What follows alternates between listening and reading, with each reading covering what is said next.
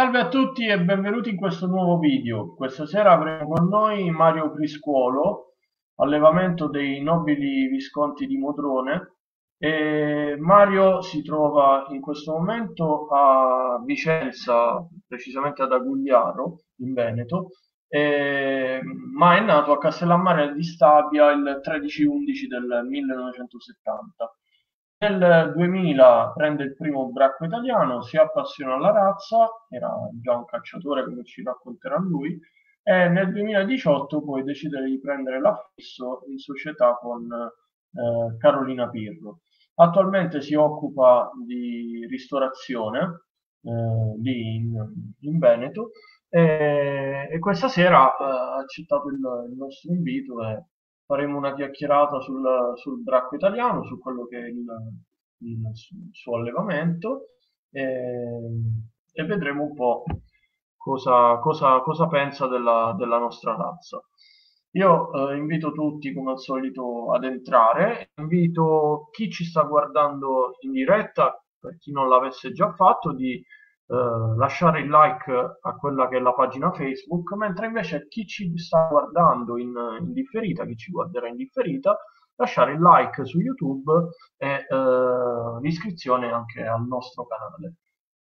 Quindi inizieremo la nostra intervista tra pochi minuti e volevo dirvi giusto qualche comunicazione. Questo giovedì dovremmo avere la puntata, dovremmo riprendere le, le puntate mediche con, eh, con i professionisti veterinari che avevo già iniziato qualche settimana fa.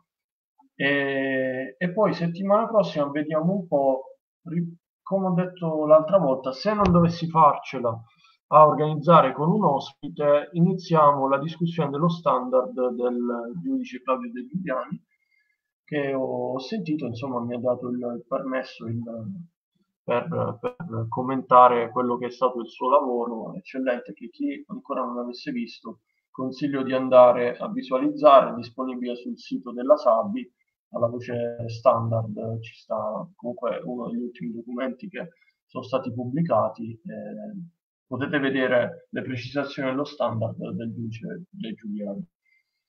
Allora, io direi che siamo, siamo pronti, possiamo iniziare, manca un minuto però, insomma, possiamo... Mario è pronto, quindi lo invito ad entrare. Mario, buonasera e benvenuto. Grazie Ciao, di aver accettato il nostro invito. Grazie a voi, grazie a te, un saluto a te e a tutti gli amici che ci seguono. Che stanno, stanno aumentando e confido che aumenteranno nel, nel corso della, della nostra discussione. Però parto subito con la prima domanda e ti chiedo quindi come è nata la passione per il bracco italiano per te? Ah, bene. Allora io nel 2000, nell'anno 2000, ero il primo anno che andavo a caccia, no? Racconto sta, questa sintesi breve. In realtà avevo un bracco tedesco, un bracco tedesco che avevo preso da un amico, no? E quando andavo a caccia la mattina, in realtà sto bracco tedesco mi dovevo legare alla gabbia perché quando gli mettevo il guinzaglio mi tirava via, no?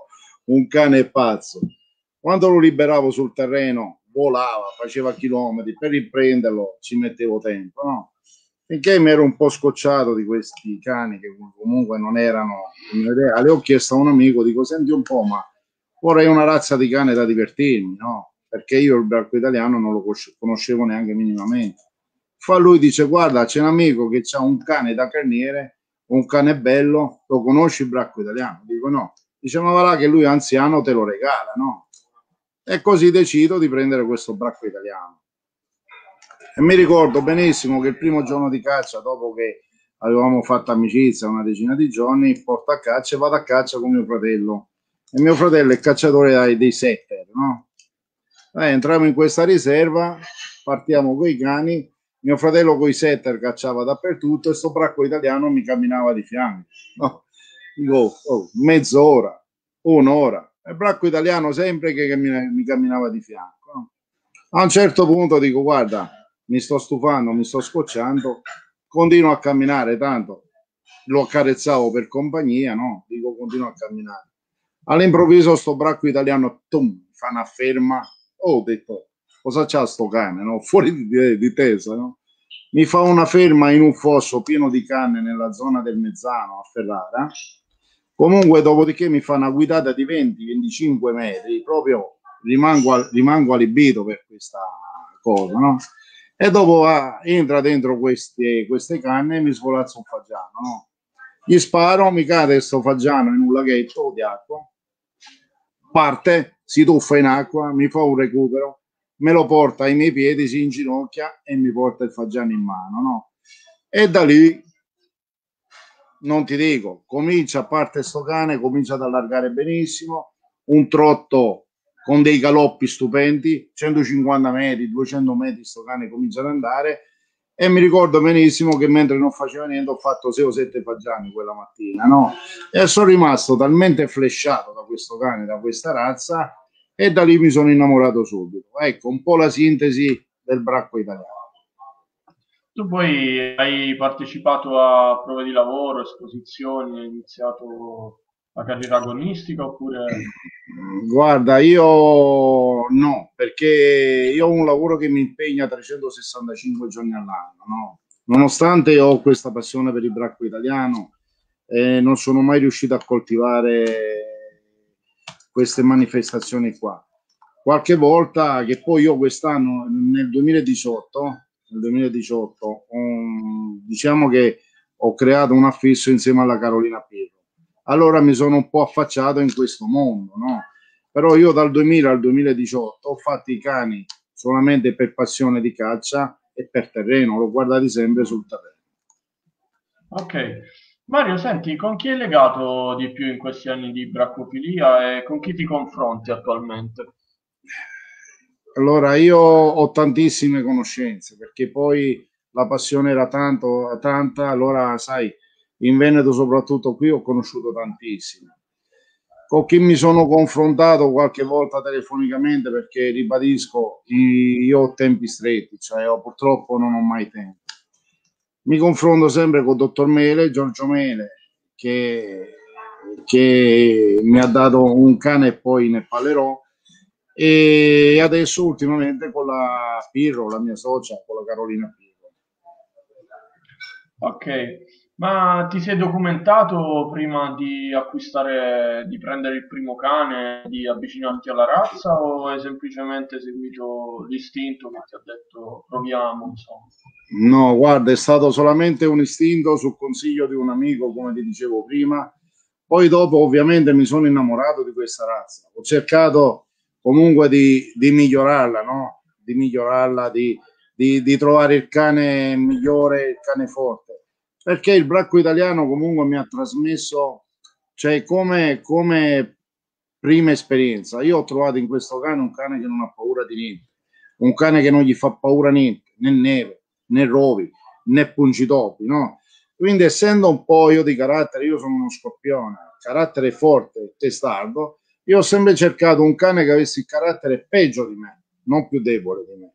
E l'ho trovato nel bracco italiano, però peggio ma con cervello, perché ho ho avuto veramente dei bracchi italiani che, che usano il cervello, capisci?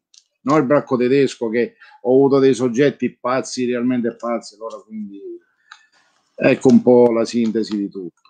Ecco appunto, parlando di quelli che possono essere i difetti della nostra razza o problemi, secondo te quali sono? Cosa hai riscontrato? Sì, in questi anni ho riscontrato problemi di pelle, problemi al posteriore, alle gambe, soprattutto quello è, è il problema del bracco italiano. Poi qualche altro piccolo accorgimento, ma per gli allevatori che hanno bracchi italiani sicuramente sanno benissimo che i problemi sono le, le dermatiti, i calli e i posteriori, il posteriore, i piedi, piedi del bracco. Ok, quindi tu parli di difetti di accrescimento scheletrico, a piombo, questa roba qui. Poi il bracco italiano, per me il bracco italiano deve essere un cane strutturato, un cane forte, no?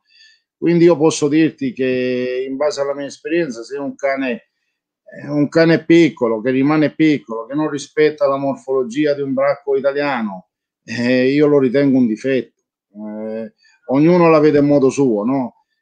È un cane che non monta, che non copre, io lo ritengo un difetto, capisci? Però sai, eh, parlare di bracco italiano per me mezz'ora è difficile, di bracco italiano ci sarebbe tanto da dire, no? E ognuno poi ha le sue idee e si comporta in base a quello che pensa. Ok, parlando di riproduzione, invece, come avvengono gli accoppiamenti? Cioè, come, come pensate gli accoppiamenti nel vostro allevamento? Allora, io l'accoppiamento, l'accoppiamento mio ideale per la mia mentalità, io guardo i cani, studio i cani sul terreno, soprattutto, perché io penso che eh, da due cani che danno, cioè un cane su un terreno cosa deve fare? Deve spaziare la presa di punto deve essere importante, la ferma deve essere bella da bracco italiano. Poi tanta gente dice, beh, ma io guardo il bracco italiano che trotta. Io invece dico, guarda, il bracco italiano galoppa, trotta, corre. Per me, per me quindi ho una mentalità mia da bracco italiano che, che mi sono fatti in questi anni di calcio. No? Quindi io l'accoppiamento lo seleziono sempre guardando i soggetti sul terreno Ovviamente poi vado a guardare il pedigree per la consanguinità oppure per i problemi che potrebbero esserci come cute, come, come problemi genetici, no? In realtà. Però diciamo che principalmente io guardo i cani sul terreno. Io penso che da due cani buoni viene fuori qualcosa di buono. Da due cani che non valgono niente non, vengono fuori, non viene fuori niente. Va bene, Mario, e invece eh, secondo te è possibile ottenere soggetti belli e bravi?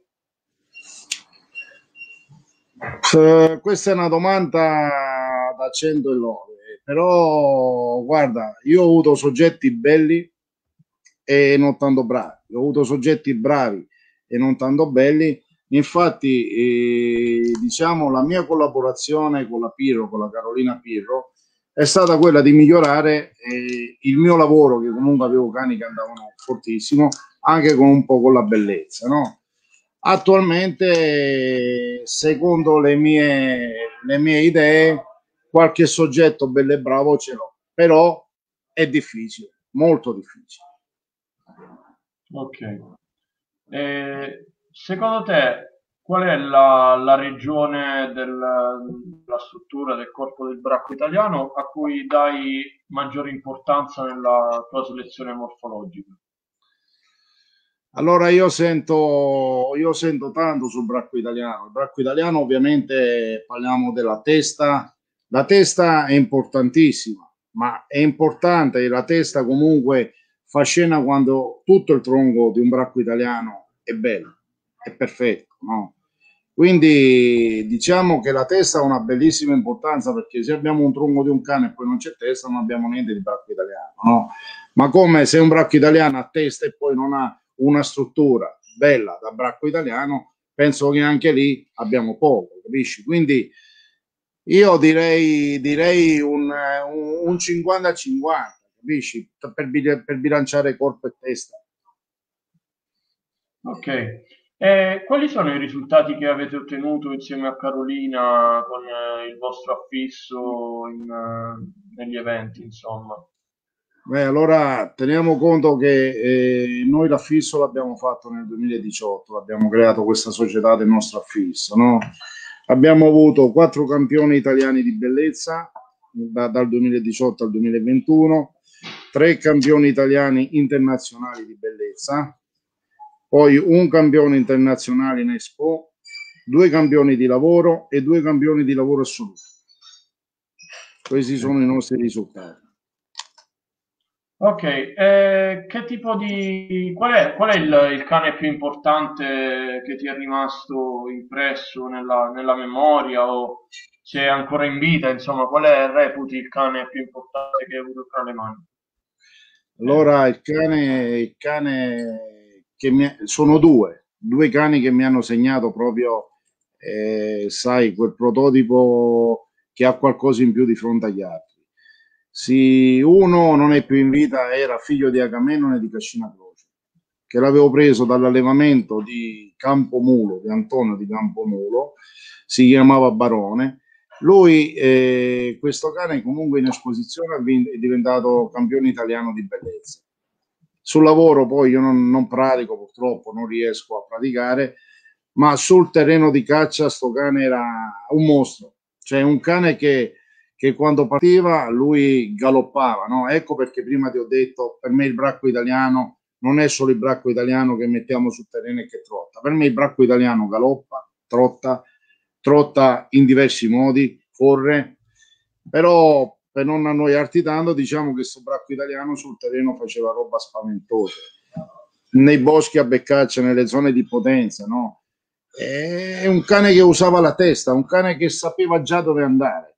E delle ferme, delle guidate da 30 metri, delle spaziate 200-250 metri, ma comunque non mi perdeva mai sott'occhio, mai.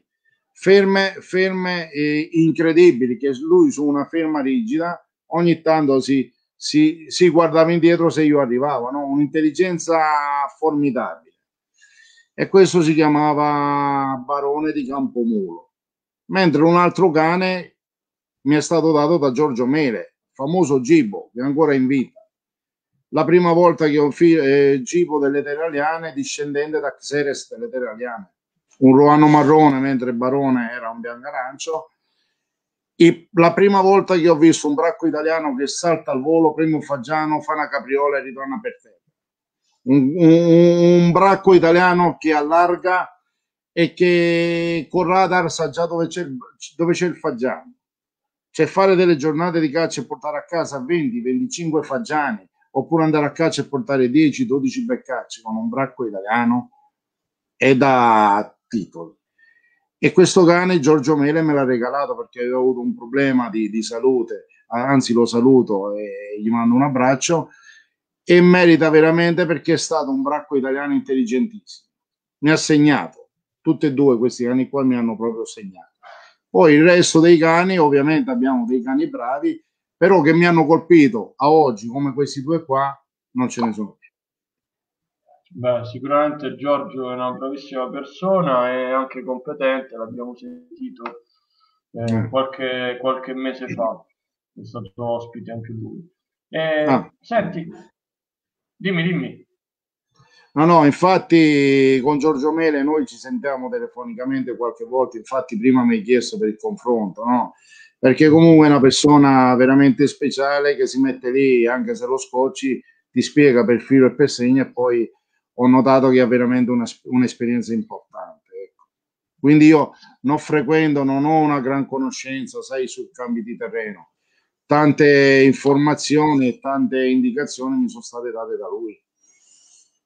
Ascolta Mario, tu diciamo che sei vivi un po' tutta l'Italia perché sei originario del sud, però vivi al nord Italia. Eh, sì. Ti chiedo, dato che hai avuto l'esperienza di ambedue le, le zone, eh, che tipo di persone ti hanno chiesto il bracco italiano nel momento in cui hai fatto cucciolate? Guarda, io nel periodo che ero da solo eh, praticavo specialmente ca- cacciatori, no? Quindi il bracco italiano mi veniva richiesto solamente da caccia. E io tanti bracchi italiani eh, che ho un amico, no? Io comunque sono sempre stato un, selo- un selezio- eh, cioè selezionavo i cani da caccia, no? Quindi ringrazio anche un altro amico che tanti bracchi italiani purtroppo non è che tutti nascono cacciatori, no? C'è il bracco italiano che va bene, il bracco italiano che era pauroso sul terreno, quindi ho avuto di fianco a me, ce l'ho ancora oggi, un amico che si chiama Paolo, che quando un cane non andava, io comunque lo davo in adozione oppure lo regalavo a qualche famiglia e facevo il selezionatore di caccia, no? E quindi io dal 2000 al 2018 ho dato cani da caccia a tante persone qui in Veneto e anche giù in Campania e da altre parti. Invece poi dal 2018, eh, creando questo affisso con la Carolina Pirro, ho visto che il mondo è, è cambiato, c'è tanti cani da compagnia, tanti cani da tartufo, ma facendo una quotazione tanti da compagnia. Allora mi sono un po' ricreduto, no? dico ma, ma scusa un attimo, ma perché non fare il cane da compagnia? se una persona vuole tenere il bracco da compagnia, che poi il bracco è vero che noi siamo dei selezionatori di caccia, ma il bracco italiano è un cane intelligente, chi ce l'ha lo sa. Un bracco italiano va a caccia, spazia sul terreno, va nella neve, va nei laghi, ma quando torna a casa può dormire benissimo sul divano. e domani mattina lo accarezzi senza guinzaglio, perché io da quando bracchi italiani non ho mai avuto guinzaglio. Vuol dire che la persona lega bene col bracco italiano. Il bracco italiano è un, è un animale, è un cane che va amato e se lo ami lui ti ama e vai dappertutto. Quindi è questo un po' il mio vissuto da bracco italiano, no? Però comunque abbiamo visto che tanta gente ce li chiede per compagnia, noi nella zona di Padova, nella zona del Veneto, poi comunque rimaniamo in collegamento con questi nostri amici che diventano amici e vediamo che i cani comunque fanno, stanno bene, tenuti super bene e quindi ti ricredi un po', dici ma perché non fare anche il cane da compagnia e solo da lavoro? Quindi il mercato è aperto in tutti i settori. Ecco. Meno da tartufo, ma ultimamente, visto che pubblicizzate tanto bene, soprattutto te Marco, questi bracchi italiani, vedo che abbiamo anche qualche richiesta sul tartufo. Ah, no, no, sì, c'è tanta gente che sono uscite nuove discipline, eh, c'è il tartufo che se non mi sbaglio in qualche puntata ci avevano anche chiesto in merito, c'è chi li sta usando per fare main training, la ricerca di persone nelle macerie, eh, c'è un, altre persone che li utilizzano per fare delle competizioni con uh, biciclette, dog, dog running, una cosa del genere. Per sì, adesso che mi viene in mente, adesso che mi viene in mente che abbiamo dato qualche bracco che, che li usano anche in acqua, recuperi dall'acqua. Poi la Pirro comunque segue di più queste cose qua perché io sono impegnatissimo. No? Diciamo che nel nostro allevamento in quello che noi facciamo, io mi dedico molto al lavoro, no? E comunque a selezionare i cani per, per eventuali accoppiamenti. Mentre la Piro si dedica soprattutto alla bellezza e alle cucciolate, perché guarda, il bracco italiano è un cane che ha bisogno delle mani di una donna, veramente delle cure importanti e lei ha le mani d'oro in questo. Eh sì, senza dubbio. L'abbiamo dimostrato anche nelle, in qualche puntata precedente, insomma. Senti, eh, Mario, a che mese invece cedete il cucciolo voi? Allora, per mia, per mia scelta, perché noi abbiamo delle richieste molto prima, però comunque per mia scelta noi partiamo dai 120 giorni ai 160 giorni. Ok. E il cucciolo che vendi lo fai scegliere al nuovo proprietario oppure fate una selezione voi in modo tale da dare il cucciolo giusto per il proprietario che ritenete giusto? Allora, ovviamente, ovviamente, come tutti gli allevatori, penso noi comunque facciamo una, pre, una preselezione, no? Ovviamente, sapendo i genitori, sapendo i soggetti, che comunque i soggetti qualcuno è del nostro allevamento, oppure a volte troviamo qualche cane fuori, no? Però comunque il cane eh, viene, viene studiato, viene controllato, viene, eh, viene capito, no? Se è giusto per il nostro allevamento oppure no. Quindi diciamo che dai 120 ai 160 giorni noi riusciamo a vedere l'attitudine di un cane se si avvicina a quelle prestazioni dei genitori e quindi preselezioniamo qualche cucciolo e ce lo teniamo per noi. Poi ovviamente nella vita non si ci indovina mai, magari quello che pensiamo bravo rimane un brocco e quello che era un brocco rimane bravo, come in tutte le cose. Sì, ma intendevo chi viene da voi per l'acquisto del cucciolo, sceglie lui il cucciolo che gli piace, oppure si ah, sì, sì, sì. No, no, ah. no, no, sceglie lui, sceglie lui, sceglie lui. Ok, e di solito eh, ritenete che siano sempre giuste le persone che arrivano in allevamento per convivere con un bracco italiano o avete avuto anche storie poco piacevoli, insomma? Guarda, eh, allora quando da noi viene il nostro cliente in allevamento a scegliere il cucciolo, di solito notiamo che noi abbiamo degli sgambatori da cucciolo, no? piccolini, allora il cliente entra dentro, di solito si innamora dal primo cucciolo che gli va vicino oppure quello che gli lecca le dita e che Devo dire che io sono meno, eh, mi informo meno, ma la Carolina, la Carolina è una persona che comunque si informa bene sulle persone a cui dai cani e fino ad oggi, dal 2018 ad oggi, non ho mai visto una persona che ci ha portato un cucciolo indietro. No? Quindi ci è capitato solamente con una persona americana, un soldato che comunque avevamo dato un cane, che dall'Italia si è dovuto trasferire in America, quindi lì per forza di cose il cane è tornato a casa e poi l'abbiamo affidato a un'altra famiglia. Ok. Eh, qual è il tuo tipo ideale? Prima l'hai accennato un po', però dici qual è il tuo tipo ideale del, di bracco italiano e quindi come pensi poi anche di ottenerlo? Allora, il mio tipo ideale di un bracco italiano, un bracco italiano deve essere per me un prototipo, un prototipo, quindi una testa bella, eh, un tronco bello e soprattutto un cane che deve avere quelle attitudini che prima ho detto di spaziare sul terreno, delle prese di punte eh, giuste, delle belle ferme e delle belle guidate da bracco italiano.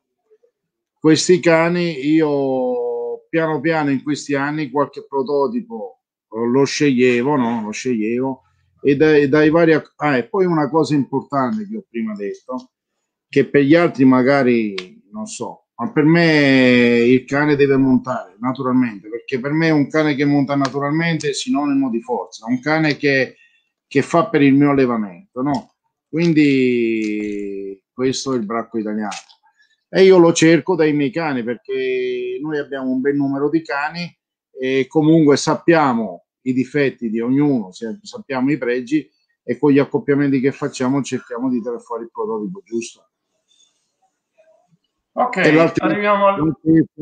Aggiungo una cosa, all'altezza a me piace il cane grosso, cioè il cane che deve essere al massimo del garese.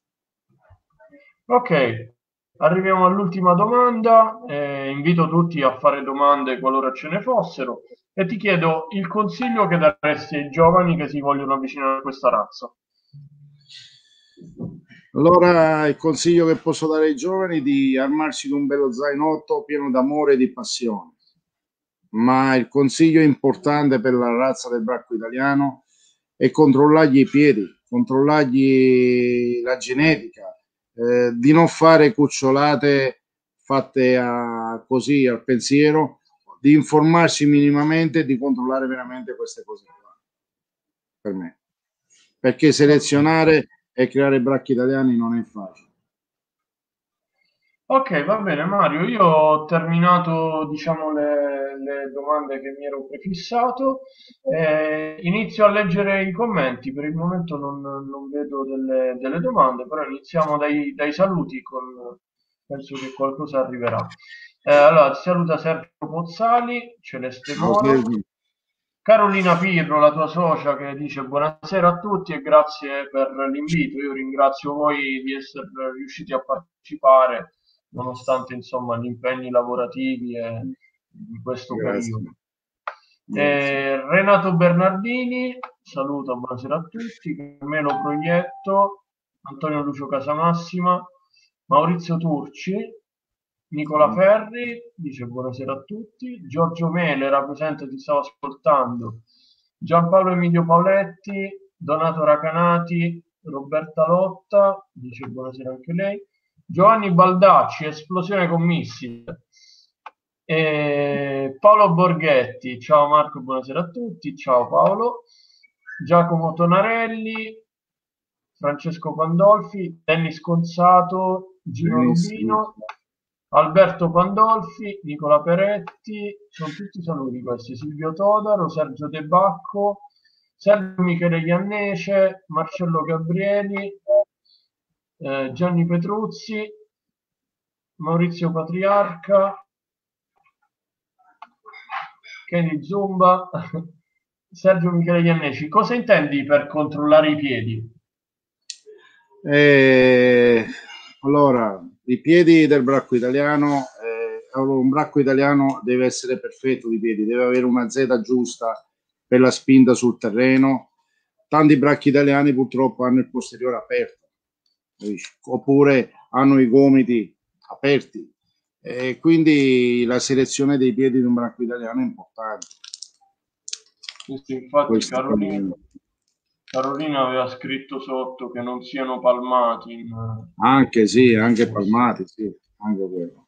Poi c'è quest'altra domanda. Quando si può considerare adulto un bracco italiano per te?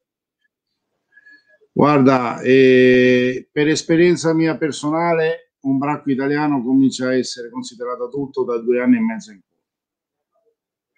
poi. Mm. Ok. Ma ritieni che si debba fare distinzione sessuale tra maschi e femmine, cioè anche dal punto di vista del lavoro, magari si dice che il maschio matura più tardi, la femmina prima. Sì, la femmina, la femmina matura prima, la femmina matura un po' prima, però comunque eh, io ho avuto dei soggetti, poi anche lì, cioè anche lì, guarda, c'è la femmina che matura prima c'è il maschio che matura prima. Quindi, però io diciamo che per non stare stretto e non largo dai due anni ai due anni e mezzo, un bracco italiano si può considerare maturo. Ok. Poi c'è Luigi Maggio De Maggi, dice buonasera ciao, il bracco italiano. Ecco lui, volevo dire una cosa su questo signore qua. Lui è quello che mi ha portato Barone sempre alle mostre. Anche Maurizio Turci l'ha presentato quel Barone di Campomolo, no? E loro lo sanno che soggetto era. Era un cane inconfondibile, come il famoso Agamennone, no? Un cagnone. Ha dato tante soddisfazioni. Ciao Luigi. Ok, poi c'è quest'altra domanda di Nicola Ferri che chiede cosa ti hanno dato i due migliori cani che hai citato prima in riproduzione, visto che erano bravissimi a caccia? Allora, un cane che sarebbe Barone di Campomulo. Ha, eh, purtroppo, prima di morire, sono riuscito a fare l'ultima cucciolata mi ha dato un maschio e una femmina. E solo, solamente due cuccioli. Il maschio e la femmina sono venuti fuori due cani che attualmente io ho nel canile. Sono uno spettacolo. Sono uno spettacolo. Adesso hanno circa un anno e mezzo, un anno e sei mesi, no? E ancora non sono al top, però veramente sono dei soggetti che promettono bene e, e sono contentissimo. La mamma di questi cuccioli è una femmina di Denis Gonzato, che gli faccio i complimenti, si chiama adesso non me la, vabbè, il nome non me lo ricordo, comunque una bella femmina, una cacciatrice e una bella femmina. Diciamo che da, da Barone è venuto fuori due veramente bei cuccioli. Dal Gibo purtroppo un gran cane, ma come, detto, come ho detto prima e ribadisco, un cane che non monta da solo, io non faccio accoppiamenti, quindi il Gibo purtroppo non ho mai accoppiato. Ok. Nicola Peretti ti chiede a che età secondo te è la prima cucciolata? Guarda, noi la prima cucciolata con una femmina la facciamo sempre intorno ai tre anni. Ok. Sì, è importante Nicola ehm, arrivare sicuramente alla fine della crescita. La maturità di una, sì, sì. E anche maturità, cioè non solo maturità fisica, ma anche maturità mentale, perché comunque è un bello stress per la fattrice mantenere la cucciolata. Quindi. E, e, comunque bisogna controllare i calori, non prima del, del secondo calore, per questione di benessere animale non si dovrebbe far accoppiare. E poi Renato Bernardini, per la caccia cosa preferisci, maschio o la femmina? Guarda, sulla caccia per me allora il maschio è più irruento, è più forte, ovviamente la femmina, la femminile è più delicata, no? Però io preferisco tutte e due, tutte e due perché io comunque ho soggetti femmine e soggetti maschi. Una cosa importante che voglio dire sulla caccia, almeno per, per esperienze mie vissute, io non vado mai a caccia con due bracchi, io vado a caccia con un solo bracco. E nella mia esperienza in questi anni ho sempre visto che un bracco solo ti dà tutte le soddisfazioni del mondo. Quando sono in due si trascinano, giocano. Eh, se un cacciatore vuole soddisfazione, per me deve andare a caccia con un solo bracco. Adesso, a prescindere da maschio o da femmina, i soggetti addestrati, i soggetti che vanno a caccia comunque sono validi tutti e due. Ovviamente il maschio è più forte, ha più sostanza.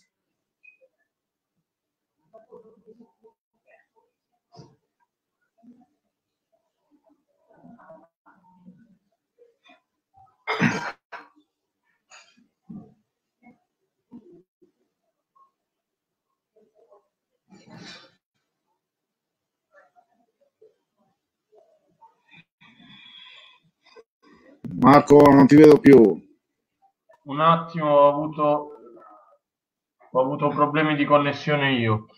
Eh, scusa, mi stavi dicendo perché forse non ti sentivano neanche loro, dato che era andata via la mia connessione. Chiedeva a Renato cosa preferisci, il maschio o la femmina? Mi vedi? Sì, sì, sì, ti vedo e ti sento. Ok, no, perché mi dice di avvia un attimo solo. Ecco qua. Allora io... Vai, vai. Non ti vedo più, tu mi vedi? Sì. Beh, diciamo... È caduto Mario. Scusate, per una volta ho avuto problemi di connessione io, però diciamo eravamo, avevamo finito le domande, stavano solo, solo le domande del pubblico, quindi comunque Mario dovrebbe ritornare e dovrebbe essere stabilizzata la mia connessione, quindi a breve dovremmo esserci. Un attimo solo, un attimo di pazienza. Volevo rispondere un attimo io a, uh, a Melania Persico quando ci ho chiesto quando si può considerare adulto un bracco italiano. Il bracco italiano sicuramente, come tutti i cani a due anni, abbiamo la fine della, della crescita completa e totale per quanto riguarda la crescita fisica. Però io quando considero adulto un cane mi piace considerarlo adulto anche mentalmente. È chiaro che un cane che fa esperienza durante la sua adolescenza, durante la sua crescita, cresce anche mentalmente. Un cane invece cresciuto in un ambiente sterile, privo di stimoli, mentalmente non ci cresce. Quindi per me un cane adulto quando è adulto fisicamente e mentalmente. E molti cani invece che, si, che noto lo sono solo fisicamente, mentalmente bisognerebbe lavorarci un po' di più.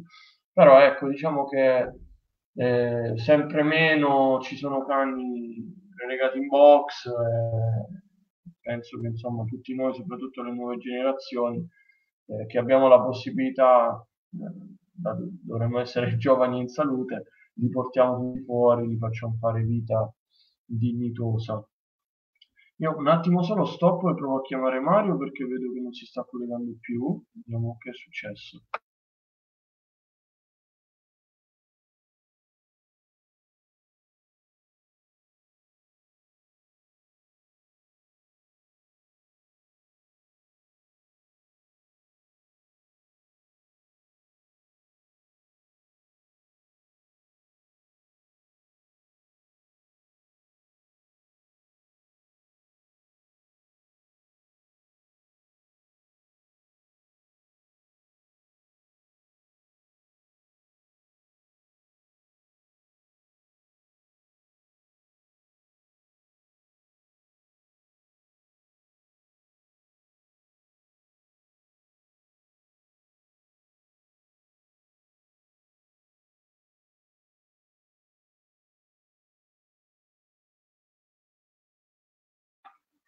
Allora, signore, ho sentito Mario, gli è partito l'aggiornamento al computer, quindi un attimo solo proviamo a farlo collegare dal cellulare.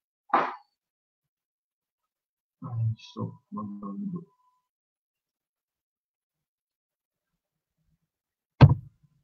Ok. Tra poco dovremmo averlo di nuovo tra noi, senza nessun problema. Uh, allora, poi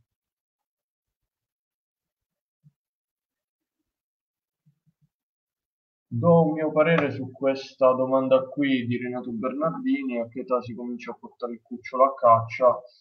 Io ritengo... Ah, ecco, è tornato Mario, ok. Perfetto. Mario... Scusami, ma è no, andato no, in tu. computer. Scusami tu perché prima è andata via la linea a me, quindi l'importante è ce l'abbiamo fatta. Niente, non so se dovevi aggiungere qualcosa a questa domanda, se preferisci il maschio o la femmina.